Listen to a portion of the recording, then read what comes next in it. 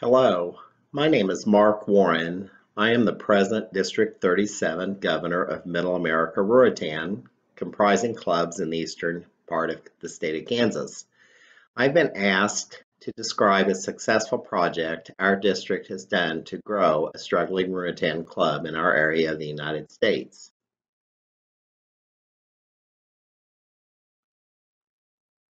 Ruritan came to our area of the United States on June 23, 1966, with the first Kansas club established in Bronson. My home club at Uniontown is located six miles east of Bronson. It was chartered one year later in 1967. Ruritan has grown steadily in Kansas over the last couple of decades, but like many of your districts, have seen a membership decline over the last few years. I am in my third year of being district governor for this district.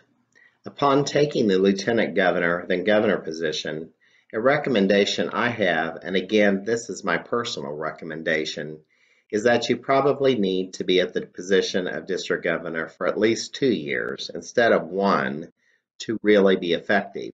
Because if you are new to it, you need the first year to visit all of your clubs. In my case, 12, and assess the individual climates of each club's community they serve. Using the first year, you can then pinpoint your weaker clubs and develop a membership growth strategy with the struggling clubs during the second year. I wish one solution for growth would work for all clubs, but as many of you already know, communities are different. I have found that a dedicated district cabinet with a good growth and development person and zone governors are probably the key to success. You as governor may have ideas, but putting the several heads of your cabinet together help to make a plan work. Here in Middle America, our 12 clubs are located in towns with schools and towns without schools anymore. Surprisingly, many of our strongest clubs are in the towns without schools. So because of this, we developed a plan to begin with the clubs that have school districts. In our case, that is four of our clubs. Ideas we used are not new, as Glenn Broadwater and Calvin Shelton presented many of them in a PowerPoint at one of the National Convention workshops I recently attended. So if you two individuals are watching this presentation, I want to thank you both for sharing your ideas and encourage all districts to incorporate these ideas as they really do work. All we do in Middle America is modify those ideas a little bit. Cherokee, Kansas is a club that was started in 1973. It is located at the farthest south of any of our clubs in the district. Cherokee is a town of 700 residents. Pittsburg, Kansas, which is a town of 20,000 residents with a Kansas Regents University, is roughly 10 miles to the east. And another town, Weir, Kansas, also population 700, lies halfway between Cherokee and Pittsburg.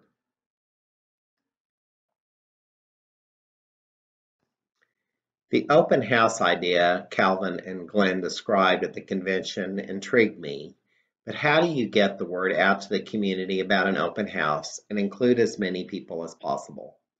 Cherokee Club is in the center of a unified school district that has maintained their school system, that has seen a drastic drop off in membership from charter strength to just three members remaining in a short period of time. After I found out what happened, I contacted the District 37 cabinet and had a meeting deciding that we were going to do whatever it takes to not lose this club or any more clubs. For many of our communities, the Ruritan Club, especially in communities that have lost their school, is the last remaining civic organization that gives the community an identity. And some of them, unfortunately, have lost that now. District 37 Cabinet decided we would work together and start by com coming up with a plan of action to target struggling clubs first, getting them back on their feet, then concentrate on a second phase of starting new clubs later once all 12 of our clubs are functioning with healthy membership. We decided to start with the City Council of Cherokee. I contacted the city and upon getting a spot on their next monthly meeting agenda, I contacted two of my cabinet members, including Zone Governor and Growth and Development Director, and a younger, motivated member of one of our stronger clubs that I had met at one of our zone meetings. This individual was excited about Ruritan and offered me his help during a zone meeting if I was to set up a plan to grow a struggling club. He is now president of his home club and is one of the youngest presidents they have had in a while. I took him up on his offer and asked him if he'd be willing to meet me in Cherokee to attend one of their scheduled city council meetings to talk to the city council there about Ruritan, the principles of Ruritan, and most importantly, why he is involved in Ruritan. He was so motivated about Ruritan that in spite of having a busy work schedule the next day, he was willing to travel 120 miles from his home near Kansas City on a cold, icy December night, meeting me halfway, riding in the same car with me and the cabinet members the last 60 miles. Once there, the four of us talked to the council about Ruritan, of which we found none of the councilmen were members. Let me interject here. This America's greatest secret thing is so true. Operation We Care, the five community service areas, partnerships with other organizations, Insurance at community events all were brought out at this meeting, of which none of these things were known by these city council members. I want to stress that if you can find that younger motivated member, of which we did, that is in their late 20s and 30s of age, to go with you to these meetings, it is extremely helpful because they are enthusiastic and energetic. Their contribution can be very persuading in accomplishing your goal.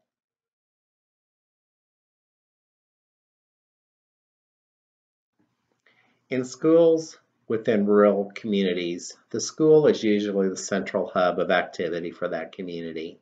So after the city council meeting in Cherokee, I contacted the high school principal of the school, who is now a member with his wife of the Cherokee Club, and asked him if he would schedule the high school cafeteria for a community meeting and supper in January to invite all residents of Cherokee to learn about the Ruritan Club, which we again later found was not only America's best kept secret, but Cherokee's best kept secret, as the school administrator said he had worked in Cherokee schools for five years and hadn't heard that there was any organized community service organization active in town with the title. All he saw were people doing projects, community celebrations, and during the holidays, but didn't realize they were Ruritans doing them. After scheduling the supper, I went back to the city council clerk, who was motivated by our talk at both the council meeting and later community meeting, and joined Ruritan as a new member the following month of February. She offered to send invites out to all Cherokee residents through the city utility bills to list our upcoming Ruritan Community Supper, which we had set up. After she did this, I contacted that school's food service director to schedule and fix food for 50 people with the school's kitchen staff for that night as they were able to coordinate that better than we could. Payment to the school staff and for the food was provided through funds from our district treasury. You're gambling now at this point as we didn't know how many would show up that night. But after advertising also on the school sign and knowledge that the utility bills have went out into the community, the four cabinet members, including myself, drove again the miles to Cherokee, riding to the event as a cabinet together, coordinating the evening program by talking and knowing what each member's role will be so the program will run smoothly and most importantly not too long. Communication is the key to all of this. Once there, we were pleasantly surprised in that 25 to 30 people showed up. We feel that advertising a free meal, which our district treasury paid for, is a key to getting people there. As we had extra food left over, the food became a further reaching out tool as a community resident in Cherokee had a devastating fire recently, and was living in a homeless shelter, and the food was very welcome. Chili and cinnamon rolls work well in the winter, as this was the time of the year we did this, and these food items can be frozen for later use, of which the local club did use later.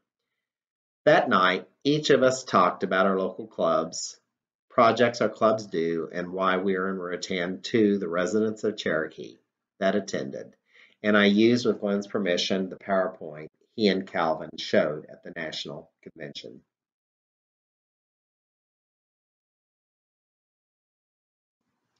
After the four speakers finished, including myself, we did not ask people that attended to join that night but had a sheet passed out to the attendees of the community service areas Ruritan represents and asked them to fill out projects that you would like to see happen in Cherokee under them.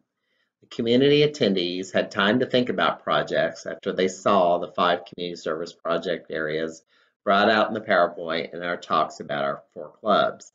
They signed their name with contact information, with phone information, and left them on the tables they were sitting at for us to pick up. Usually, community leaders are school administrators, councilmen and women, and mayors. We were blessed to see in this group all of these individuals at the meeting that night. This group of individuals, including school superintendent and high school principal and wife, signed the form encouraging us that their apparent interest showed us they cared to make Cherokee a better place to live through Ruritan.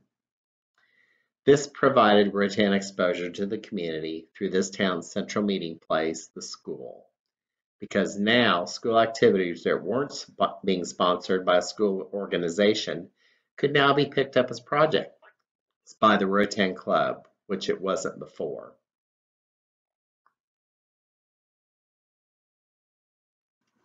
We close the community meeting with an invitation to all attendees to come to the next Cherokee Ruritan Club meeting for the following month of February.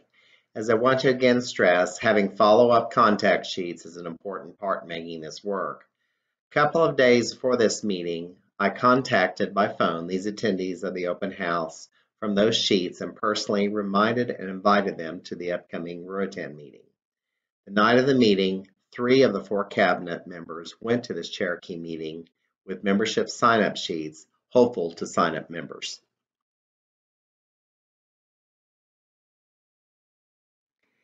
After contacting open house attendees by phone one to two days before the Cherokee February meeting, I contacted the zone governor and growth and development director and along with myself traveled the distance once again to attend Cherokee's February meeting.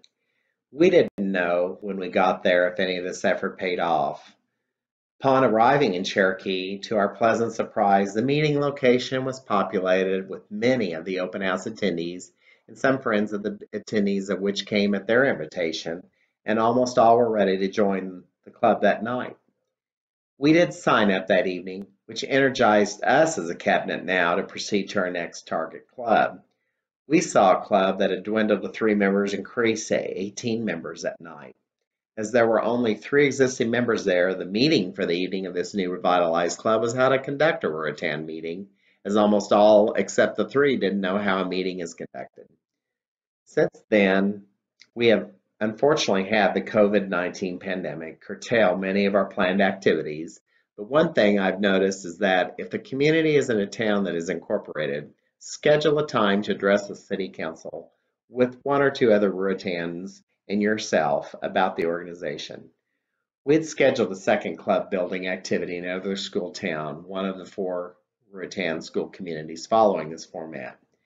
After the first meeting with the city council in the second community, we had a city council member sign up after the talk, like we saw happen in Cherokee.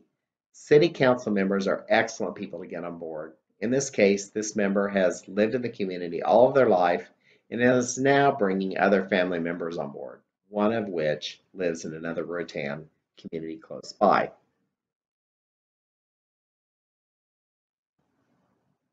In our Middle America district, community get-togethers are great places to talk Ruritan.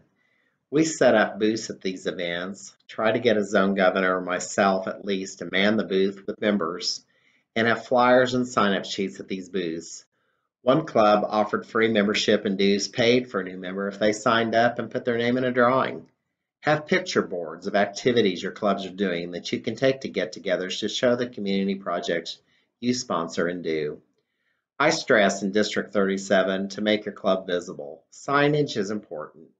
A 50-year or 10-member has a farm that adjoins U.S. Highway 54 in southeastern Kansas, outside of the first town in Kansas to charter a Ruritan club in 1966, Bronson. He is still active in this club and donated land to allow our district to construct a billboard on his farm along US 54. After obtaining approval from the Kansas Department of Transportation, we recently finished this project and hope to see this as a tool to attract membership.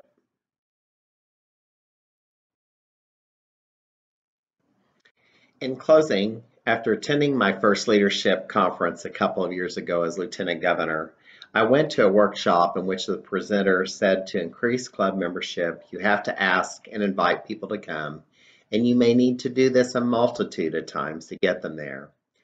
I have been a Ruritan now for close to 10 years. My dad, who is 97 and a World War II vet, asked me to go with him to a meeting a multitude of times.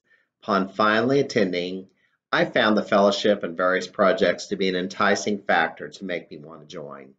But he didn't give up asking me to come. That is my point. I have since then invited my son, daughter, and son-in-law to attend meetings with me.